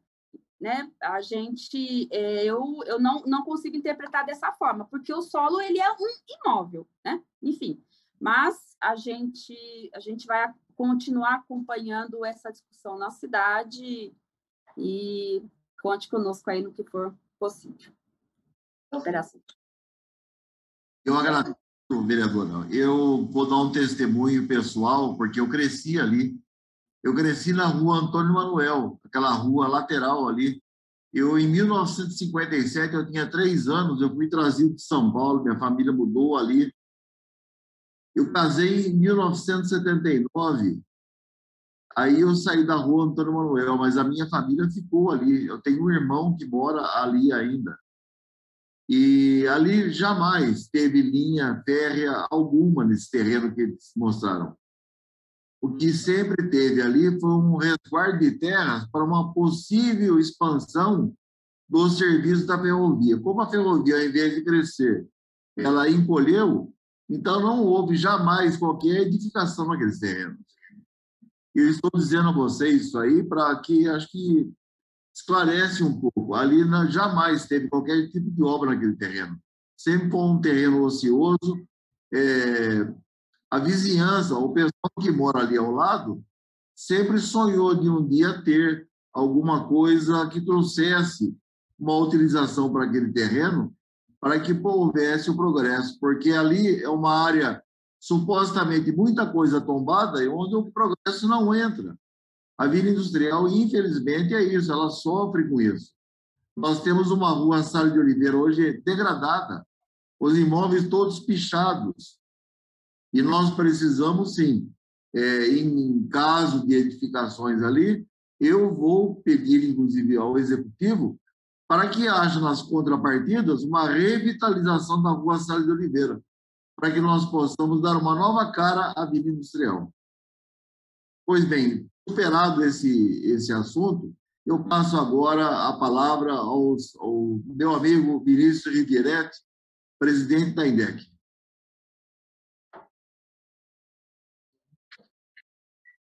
Bom, muito obrigado, é, é, vereador. É, vereador Schneider. Eu vou, vou pedir para a Mariana.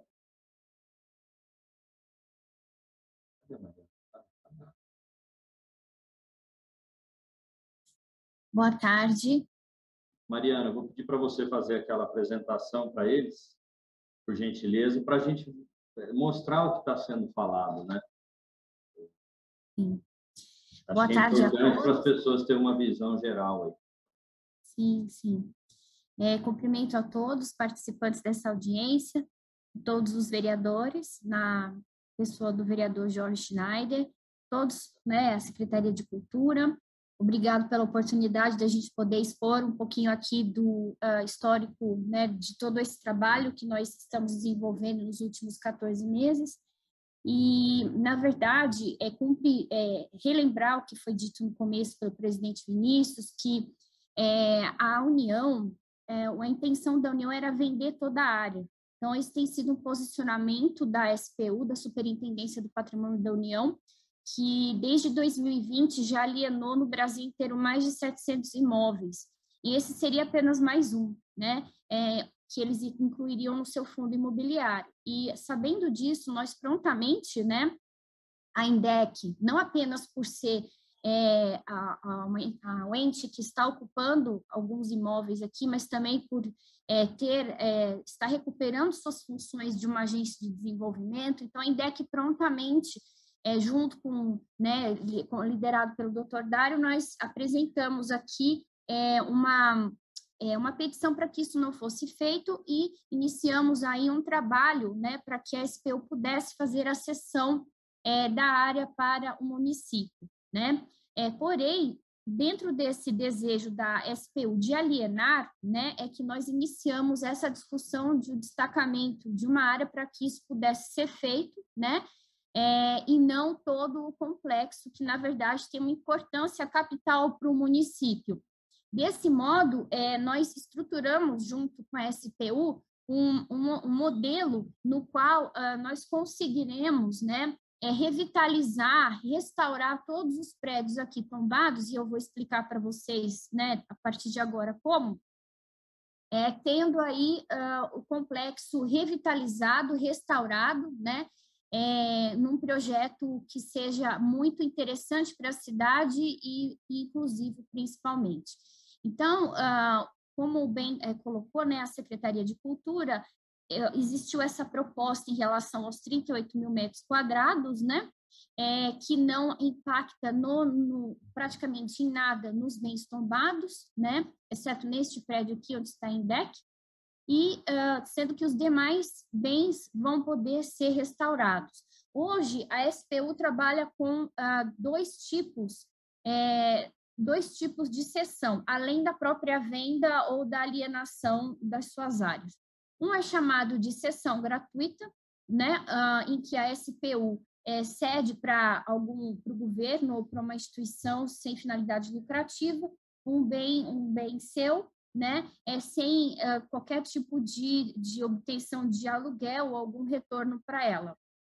O segundo uh, segunda forma de cessão é a cessão onerosa, na qual a SPU ela faz a cessão para um ente privado mediante licitação e esse ente privado paga um aluguel para ela, ou seja, para a União. Especificamente no caso dos bens tombados, a exemplo da cidade de Santos, a SPU ela fez a cessão a título oneroso da área do mercado de peixe, né, é, junto com a prefeitura de Santos, é, tendo como contrapartida a restauração do, dos, do, dos bens que estavam ali. Né? E, esse, e esse recurso que foi usado para restauração, ele contou como período de carência para pagamento de aluguel. E essa seria uma forma da gente também conseguir, como o presidente bem colocou, Vinícius, tanto dar um uso para os bens que estão tomados, né? Porque a gente, nosso desejo aqui, aqui tenha uso misto e, e funcione 24 horas por dia, dando vida ao centro, né? Então, é com isso nós conseguiremos dar um uso e ao mesmo tempo recuperar os bens tombados, né? Mediante uma posterior é, licitação da área feita pela SPU, que é a proprietária da área, para entes privados que possam restaurar é, possam restaurar a área de acordo com um projeto ou com o desejo da municipalidade é, e, e, e, tendo aí o período de carência para o pagamento de, de, aluguel, em contrapartida tendo aí esses bens é, restaurados. Uma outra forma da gente conseguir fazer a restauração, a revitalização dos bens e a próprio parque linear, que também é muito desejado né, é, por, por muitas pessoas aqui na área, é através da própria contrapartida da venda, da alienação da área que é, foi destacada aí pela, pela secretária Alexandre. Então, com, essa, com esse recurso também é possível fazer é, a recuperação dos bens tombados e também executar aqui o PAC linear. Veja que nós pensamos, junto com a Superintendência do Patrimônio da União, independente do projeto que seja estabelecido aqui, uma forma é, de fazer com que é, o, o, projeto né, pare em pé, né, que seja bom para todos, que é, seja bom para a iniciativa privada, que seja bom para o poder público e principalmente para a sociedade. E esse é um modelo, né, é, que a gente vai chamar um modelo digamos assim, econômico e social que é bastante sustentável, independente do projeto é, que possa ser constituído a posteriori. Porém, a título de é, mostrar o nosso interesse para a SPU na área, agora falamos como municipalidade, né? É, a título de, de é, é, ratificar o nosso interesse, nós montamos um projeto conceitual, né? Que é uma ideia né, que nós é, tivemos, consultamos várias áreas da prefeitura sobre os usos que poderíamos dar aqui ao, a, a, aos prédios à luz do plano diretor, tá certo? E é isso que a gente vai mostrar aqui para vocês, muito embora não seja um projeto final e também não seja necessariamente o projeto que vai ser constituído depois. Eu acho que vale destacar isso, porque para que não se pense que isso aqui ah, já é o projeto, vai ser assim, não é. Mas isso deu, de uma certa forma, é, uma, é, uma noção para a SPU de quão importante essa área é para a cidade e, e, e pode se tornar ainda mais. Né? E também a título de cumprimento de exigência da, da própria seção da área para o município. Então, vocês vão ver aqui no que eu vou mostrar, no que eu vou mostrar a seguir, que alguns bens tombados, nós pensamos em alguns usos para eles, tá? Mas eu volto a destacar, não, isso não está selado, não está chancelado de que vai ser assim, porém ajudou muito nesse processo de cessão da área para o município, né? Tanto a título que ainda não aconteceu, mas está assim em, em vias de acontecer, tanto a título gratuito quanto a título oneroso. Tá? A título oneroso, como eu falei, é, em acontecendo uma licitação da área, tanto a prefeitura quanto a, a, a SPU fariam aí esse processo junto a, a, possíveis entes privados que teriam interesse em restaurar o patrimônio. Então, eu vou fazer uma apresentação aqui para que vocês vejam nos usos que nós pensamos, mas veja, é apenas um projeto conceitual, uma ideia que ajudou é, que nós que nós chegássemos até aqui e principalmente impediu que essa, que essa gleba aqui fosse vendida, tá bom? Vou só compartilhar aqui a tela.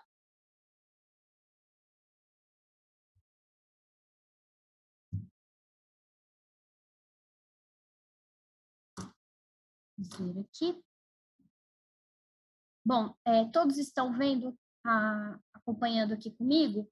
A área total do pátio né, é 270, cerca de 270 mil metros e fica no coração da região metropolitana de Campinas, tá? É, aqui é só uma foto aérea com destacamento da gleba, que eu acredito que os senhores já conheçam, né?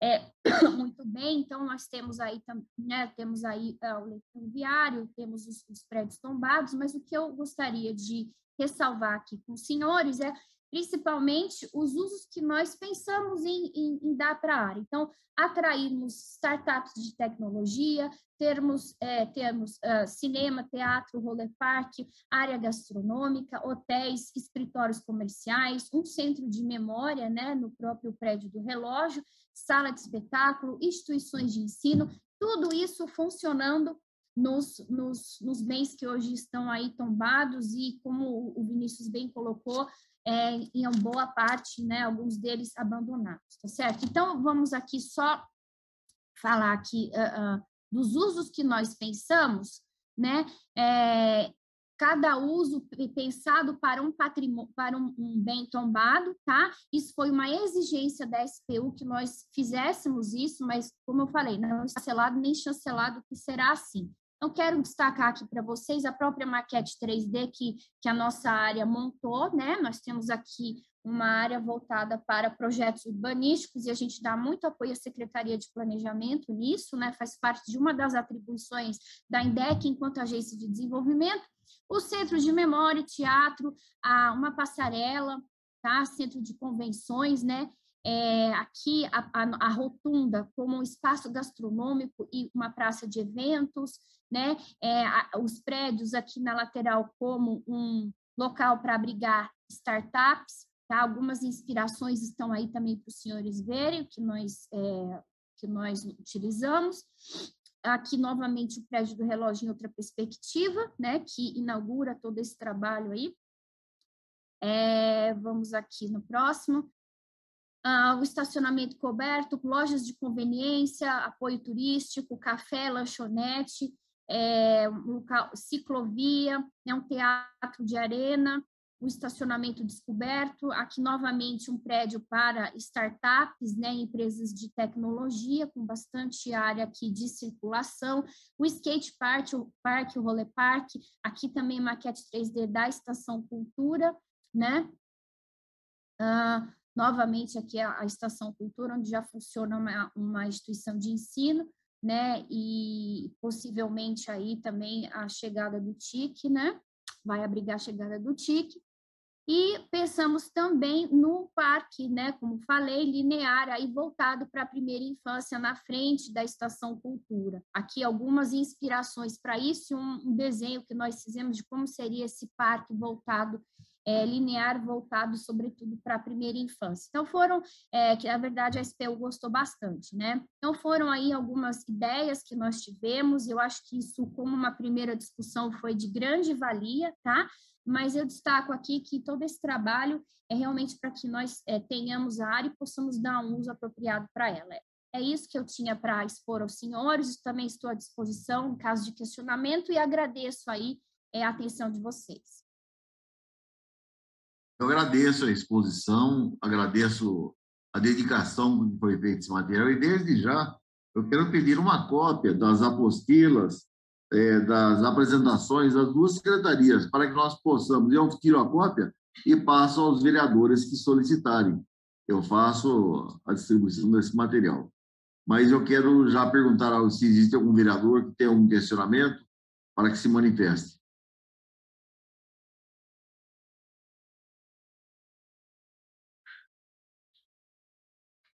Bom, diante do silêncio, eu acredito que nós tenhamos é, cumprido aquilo que foi a proposta da, da Comissão de, de Urbanismo, que foi do esclarecimento a todos os vereadores interessados é, no assunto, para que nós possamos ter em mãos e no coração aquilo que será esse projeto. Reitero o pedido de a apostila das ações, as maquetes, para que envie para nós, se quiser mandar por mídia mesmo, eu eu peço para imprimir por aqui, para que nós possamos ter total transparência e informação a qualquer vereador que, porventura, não possa ter eh, participado. Eu quero aqui agradecer de imediato os vereadores que participaram, ao vereador, ao secretário eh, Vinícius de Riveretti, a, a nossa querida eh, Mariana Saavedra também, que fez essa exposição, muito bem ilustrativa. Eu quero agradecer aqui ao Moacir, quero agradecer a, a, toda a equipe, não vou nem, nem numerar, a toda a equipe da Alexandre Caprioli e dar os parabéns a vocês. Campinas espera isso de vocês mesmo. A ação, a cultura de Campinas espera e precisa de ter um grupo ativo e interessado naquilo que é bom para Campinas. Alguém tem mais alguma colocação? Se alguém quiser fazer uma colocação final, fique à vontade. Eu, eu queria só agradecer, agradecer à Câmara de Vereadores, né, esse espaço acho que de extrema importância para a gente falar das ações da cidade. Agradecer a, a todos os vereadores que participaram, acho que é, esse diálogo é de extrema relevância como vocês disseram, gente, é um projeto da cidade, né? Quero parabenizar a equipe da, da Secretaria de Cultura também, em nome da Alexandra. Dizer que, embora a gente tenha aí a, a, algumas opiniões diversas, né, que sempre vai existir, existe um CONDEPAC, né, e o CONDEPAC, por unanimidade, aprovou uma, uma, uma questão que é muito importante para a cidade de Campinas. Então, mais uma vez, eu agradeço a todos vocês aí e estamos à disposição, viu, vereador, sempre para para qualquer dúvida que for necessária. Agradeço. Alexandre, tem a palavra.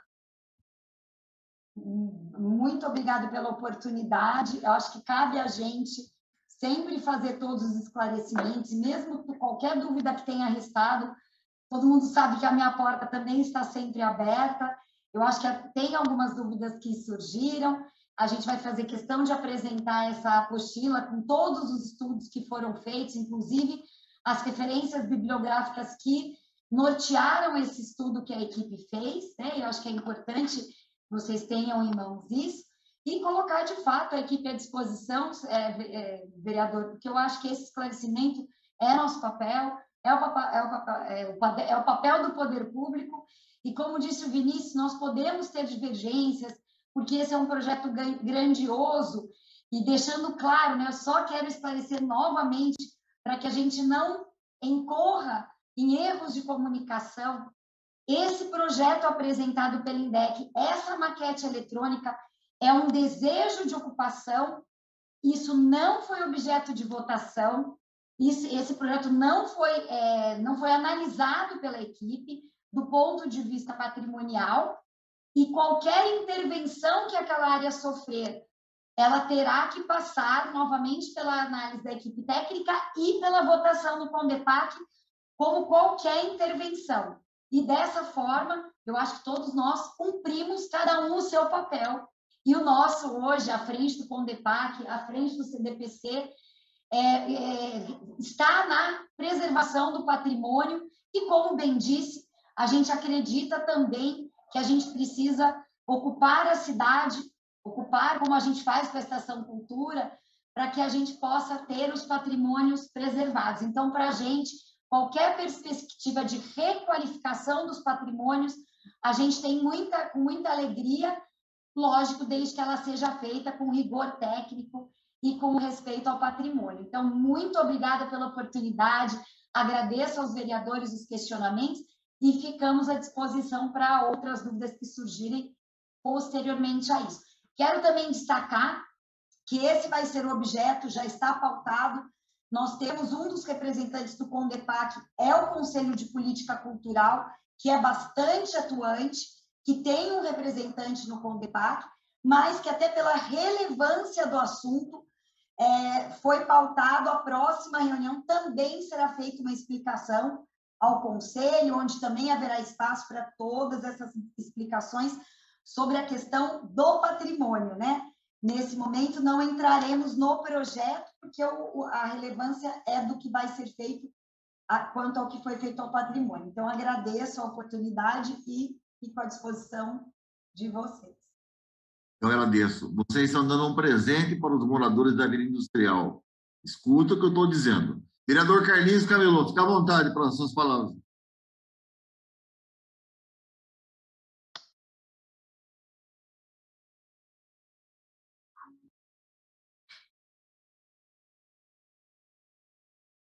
Está sem som. Está sem som ainda, vereador. Agora sim. Não estou conseguindo. Agora sim. Assim, tá. agora fica à tá vontade.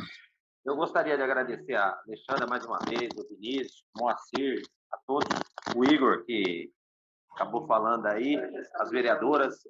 E, como o senhor disse aqui, eu acho que será não só um presente para a vida industrial, como um presente para Campinas em si, porque o que a gente acabou de ser apresentado aí através desse projeto é uma coisa que Campinas nunca teve. Então, eu acho que Campinas ganhar ganhará e muito. Então, deixo aqui meu agradecimento a todos e um abraço a todos. Agradeço, vereador. Vereadora Débora Palermo, suas considerações finais.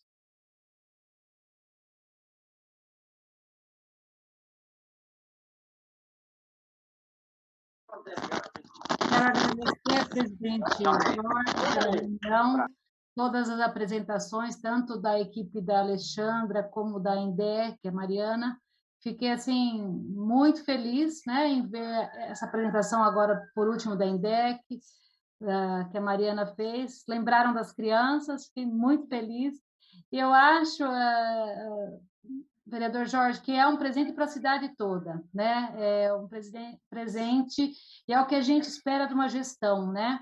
Eu acho que conservar patrimônio é isso, né? É dar vida a ele, é conservar, trazer algumas mudança respeitando, lógico, o patrimônio, o tombamento, mas é, trazer vida, trazer renovação, coisas boas, né? E o que foi apresentado hoje foi maravilhoso. Eu só senti que já não foi aprovado, que já não está em.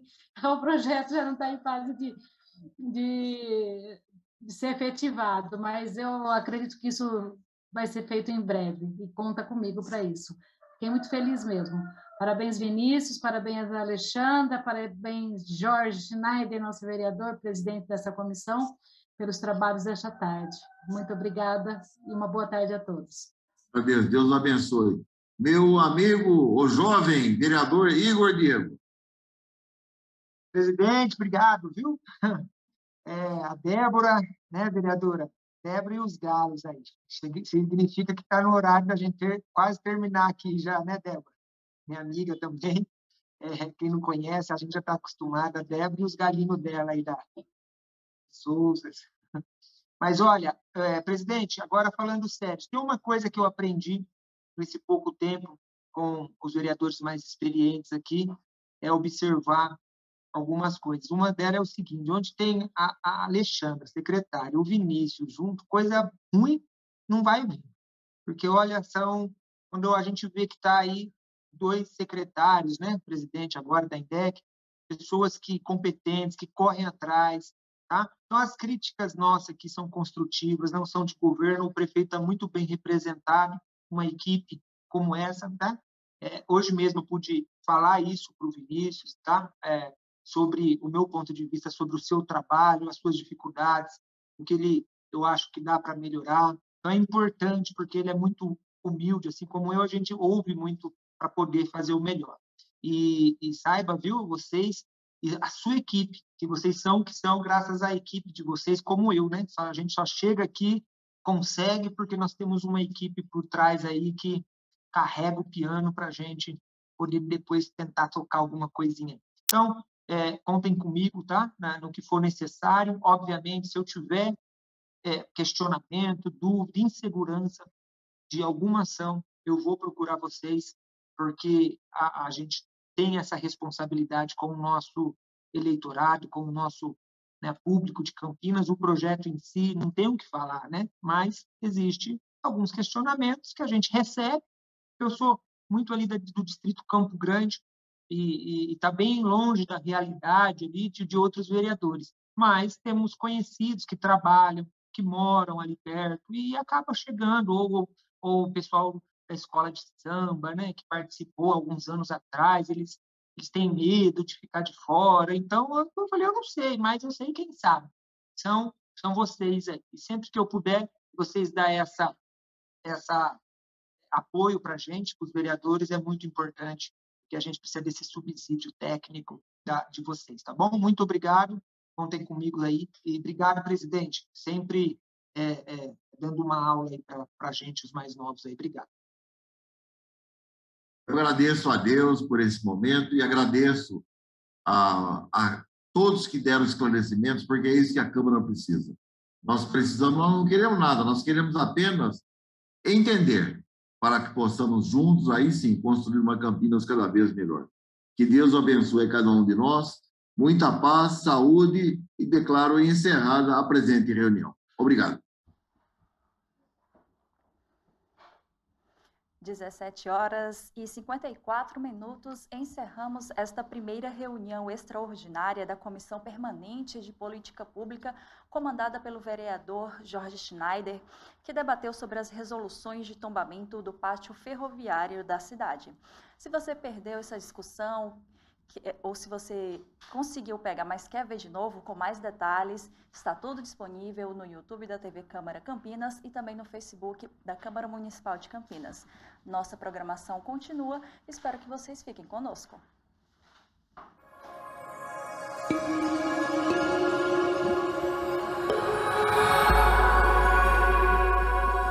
TV Câmara Campinas